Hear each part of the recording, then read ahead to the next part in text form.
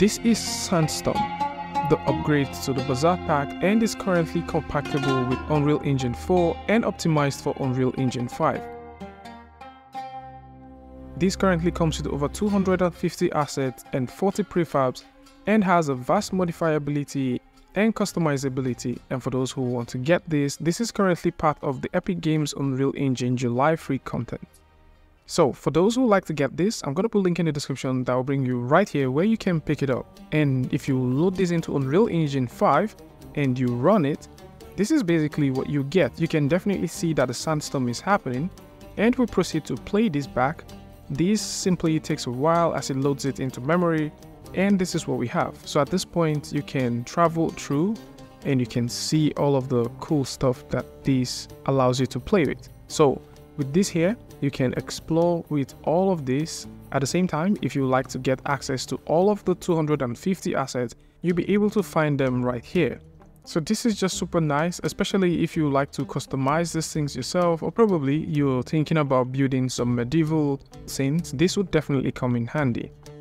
Now, away from the bazaar scene, there's also a few things that are currently available for Unreal Engine artists. So this week we did mention that there is an input prompt pack which is currently available totally for free and this comes with 800 icons for PC and consoles and of course this is not only targeted for Unreal Engine artists but if you're also working with Unity, you can also take advantage of the 800 icons which is currently available. At the same time, there's also this brand new tool which is called the Look At Actor. This is definitely going to be so useful. So the idea behind this tool is for you to effortlessly make objects look at other objects with offset and smooth rotation.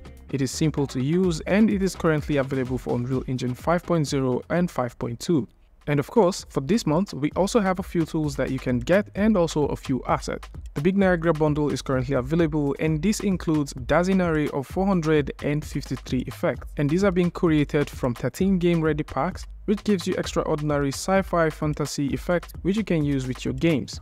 There's also landscaping and this is an easy way to import GIS data as a single landscape. So for all you landscape artists, you'll definitely love this one. The Brutalist Architecture Office is also a very interesting one that I think anyone that is also looking for more assets can explore, as this pack comes with over 250 models for architectural visualization. This also ships with dynamic lighting, automatic furniture placement, and if you're into blueprints, this also offers 200 plus parameters and 70 different blueprints for you to work with. Of course, for textures, you'll also be getting textures from 256 all the way to 4K. And finally, there's also the Modular Goblin Warriors. This is a pack that comes with 6 armor, 4 weapons, 3 shields, and this also comes with 16 different animations. You'd also have access to 6 different characters, which are all fully rigged. So if you're looking for more assets that you might want to play with, would add a few more links in the description for the free assets that you might like to explore and take a look at. Tell me what you guys think about this one in the comment section. And of course, if you like this video or you like from this, you can go ahead and give a like and don't forget to share with a friend. And until I see you guys in the next one, peace.